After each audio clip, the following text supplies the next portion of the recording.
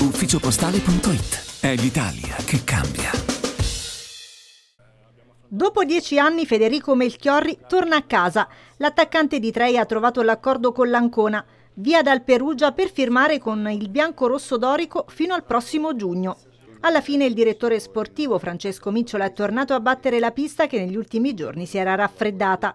Sfumato il vissino Kevin Cannavò, finito in prestito al Padova nel girone A, incassato il no di Davide Merola dell'Empoli ora al Cosenza che vuole restare in Serie B, Micciola ha stretto per Melchiorri. Un colpo da 90 per la categoria che ribadisce le ambizioni crescenti della squadra di Colavitto, tre vittorie su tre nel nuovo anno senza subire gol, con un salto dal nono al quarto posto in classifica.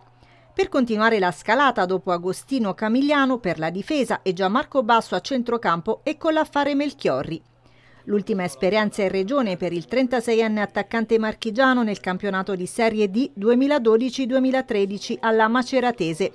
Giocatore che non ha bisogno di grandi presentazioni, carriera scintillante al netto di qualche infortunio, buoni comunque a frenarlo. Il bilancio è super. 11 presenze e 3 gol in Serie A, 220 partite, 54 reti in B, 97 gettoni più 14 centri in C.